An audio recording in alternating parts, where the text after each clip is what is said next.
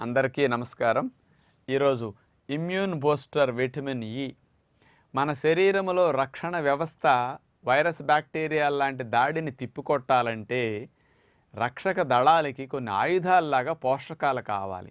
అలాంటి పోషక పదార్థాల్లో ఒక ముఖ్యమైన పోషక పదార్థం విటమిన్ ఇ ఇది పోలీస్ మిలిటరీ దళాలకి ఆయుధాలు ఉంటేనే తుపాకులు కానీ మందుగుండు సామాగ్రి కానీ మరి దొంగల మీద తీవ్రవాదుల మీద ఇతర వాళ్ళ హాని కలిగించే వాళ్ళ మీద ప్రయోగించడానికి ఎట్లా పనికొస్తాయో రక్షణ వ్యవస్థకు అంత అవసరం.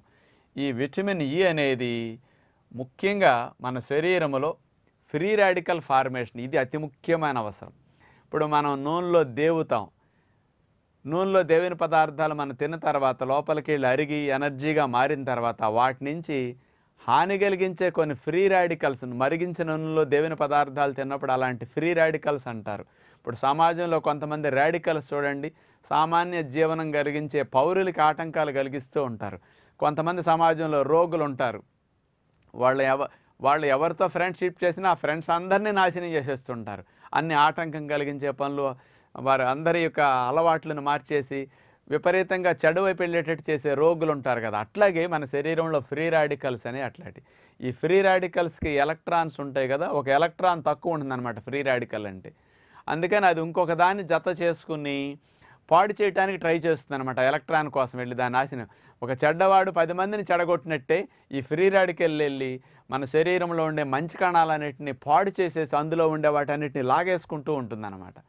కొంతమంది చూడండి పక్క వాళ్ళ జేబులో అన్ని వీళ్ళ లాగేసుకోవటం వాళ్ళ వస్తువులు దొంగిలించటం అని ఎట్లా చేస్తారో? ఇలా ఈ ఫ్రీ రాడికల్స్ అనేవి మన కణారోగ్యాన్ని పాడు చేస్తుంటాయి. అందుకని ఈ ఫ్రీ రాడికల్స్ యొక్క హానిని శరీరం నుంచి రక్షించాలి అంటే విటమిన్ ఈ అనేది అతి ముఖ్యమైన అవసరం. ఈ విటమిన్ ఇ లాంటి పోషక పదార్థాలు ఏముంటాయి? ఈ ఎలక్ట్రాన్స్ అనే అదనంగా ఉంటాయి అన్నమాట ఇది తీసుకెళ్ళి దానికి ఇచ్చేసేస్తే అది ఎవరిని పాడు చేయదు. దాన్ని బాడీ నిదానంగా తొలగించుకోవటానికి ఈజీ అనమాట అలాంటిగా ఫ్రీ రాడికల్ని తగ్గించడానికి సమాజంలో అంటే మనకి రాడికల్స్ని తగ్గించినట్లే విటమిన్ ఈ ఫ్రీ రాడికల్ని పాడు చేయకుండా ఇతర అవయవాల మీద దాడి చేయకుండా రక్షించడానికి విటమిన్ ఈ సమర్థవంతంగా పనికొస్తుంది అనమాట అందుకని యాంటీ ఆక్సిడెంట్స్ అంటారు కదా ఈ ఆక్సిడైజేషన్ ప్రక్రియ నిరోధించడానికి ఆక్సీకరణం అంటారు కదా అలాంటి వాటిని నిరోధించడానికి విటమిన్ ఈ అతి ముఖ్యమైన పోషకం అన్నమాట.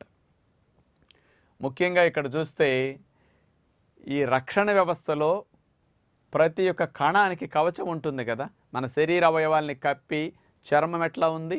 అలాగే ఈ కణ కణ పొర యొక్క ఆరోగ్యాన్ని ఫ్రీ రాడికల్స్ వల్ల నష్టం నుంచి కణపొరపై దెబ్బ తినకుండా రక్షిస్తుంది అనమాట ఈ కణపొర డ్యామేజ్ అయిందనుకోండి కణమంతా డ్యామేజ్ అయిపోతుంది. ఇప్పుడు చర్మం దెబ్బతింటే చూడండి లోపలికి అన్ని వెళ్ళిపోయి అవయవాలకి ఇన్ఫెక్షన్ ఎట్లా వచ్చేస్తుంది?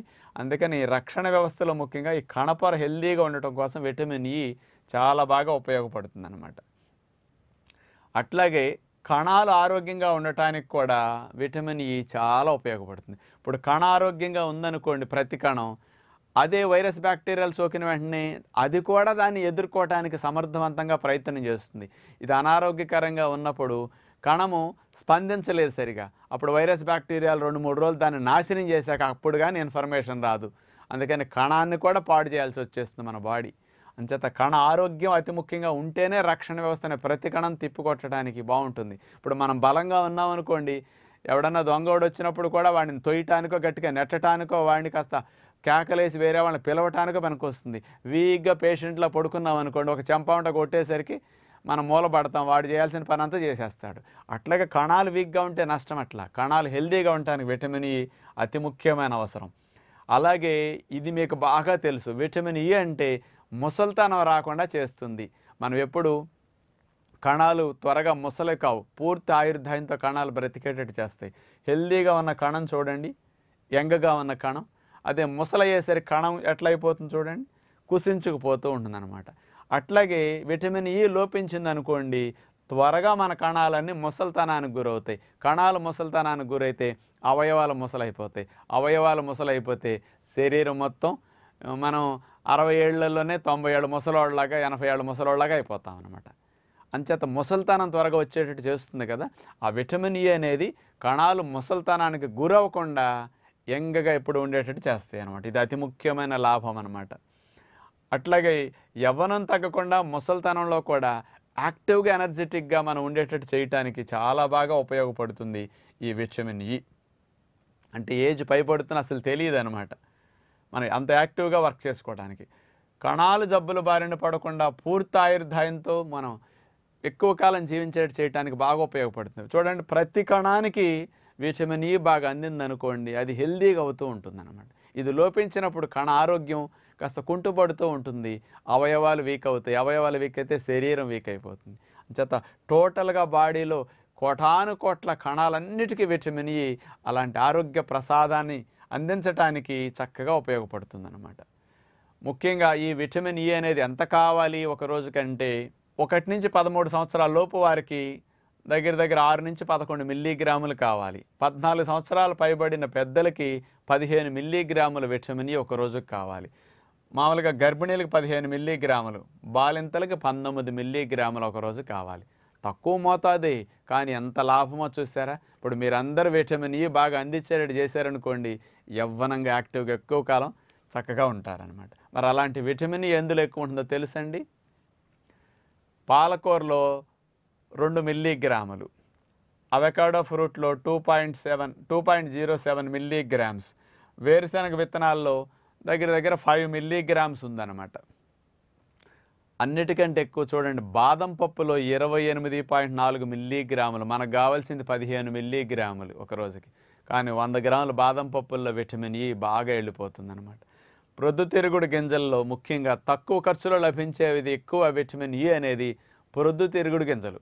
ఈ ప్రొద్దుతిరుగుడు గింజల్ని కనుక కాస్త వేపుకు తిన్నా ప్రొద్దుతిరుగుడు గింజలు కారప్పొడి చేసుకుని రోజు అంత తిన్నా ఇలాంటి వాటిని మనం ఉపయోగించుకుంటే ఖర్చు తక్కువలో బాగా వస్తాయి. విటమిన్ ఈ డబ్బులు ఉన్న వాళ్ళకి కావాలంటే బాదం పప్పులు బాగా తినొచ్చు. ఈ రెండు పుష్కలంగా లభిస్తాయి. ఈ విటమిన్ ఈ గురించి ఇంకొక వాస్తవం తెలుసా? ఇది మీ బాడీలోకి తయారై లోపలికి చేరింది అనుకోండి ఆరు నెలల నుంచి వన్ ఇయర్ వరకు స్టోర్ అవుతుంది. రిజర్వ్లు అంత ఉంచుకుంటుంది అనమాట బాడీ. అంచేత మనం ఒక పది రోజులు నెల రోజులు ఎప్పుడైనా తినకపోయినా ఇలాంటివి నష్టం లేదు. దొరికినప్పుడు డబ్బులు ఉన్నప్పుడు బాగా తిన్నాం అనుకోండి ఇతర రోజుల్లో లోపం రాకుండా రక్షిస్తుంది అనమాట రక్షణ వ్యవస్థకి యవ్వనంగా ఆరోగ్యంగా ఉండటానికి కణ ఆరోగ్యానికి అతి ముఖ్యమైన అవసరం విటమిన్ ఈ కాబట్టి ఈ రెండు ముఖ్యంగా అవకాశం ఉన్నవాడు వాడుకుందాం. మిగతావన్నీ కూడా కొద్ది కొద్దిగా ఉంటాయి. అది అంతా అనేకం తినేసరికి జమ అయిపోతాయి కదా. ఇప్పుడు నాలుగు రోజులు బాగా తిన్నామనుకోండి కూరగాయలు పళ్ళు వేరుశెనగ పప్పులు ఇందులో వెళ్ళేదే జమ అయిపోతుంది కాబట్టి అన్నీ తిన్నాం. అతి ముఖ్యంగా ఈ రెండు గుర్తుపెట్టుకుందాం విటమిన్ ఈ. అంచేత అవకాశం ఉన్న వారల్లా ఈ రెండు బాదం పప్పులు ప్రొద్దుతిరుగుడు విత్తనాలు విటమిన్ ఈని పుష్కలంగా అందించే ఆహారాలుగా తెలుసుకుని మనందరం గ్రహిద్దామని ఆచరిద్దామని ఆశిస్తూ నమస్కారం.